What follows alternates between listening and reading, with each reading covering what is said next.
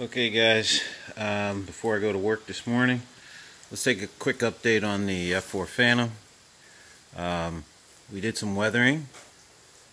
Uh,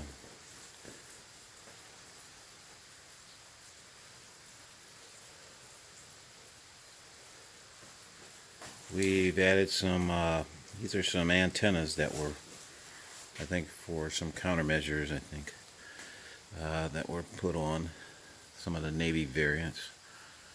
Um, also, for those sticklers out there, I went back and I changed the shape of this rail to be pointy.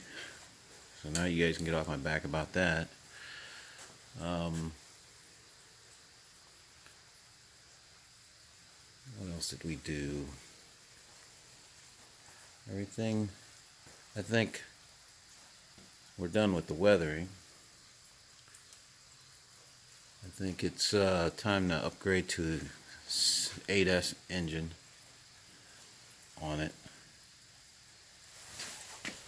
I'm going to upgrade to an 8S so I can carry some more stuff on it. Um, like we said, uh, I just want to make sure for those disbelievers, give you a nice close-up look of this area right here.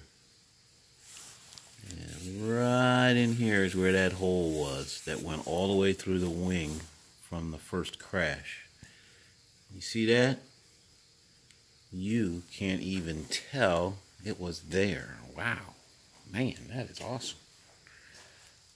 Um, and that was Beacon foam filler and uh, a lot of wet sanding over a couple days took me to get that smooth enough till I could paint it, spray it, blend it in, and it looks great.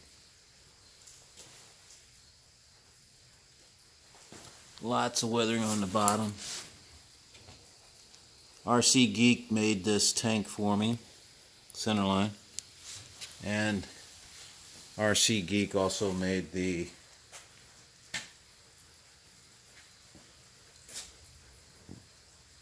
nozzles for me. Exhaust nozzles. So give them a ring up. Of course, these are Callie graphics on here. And the paint is Rust-Oleum 2X primer only with the white and the black. Everything else is decals.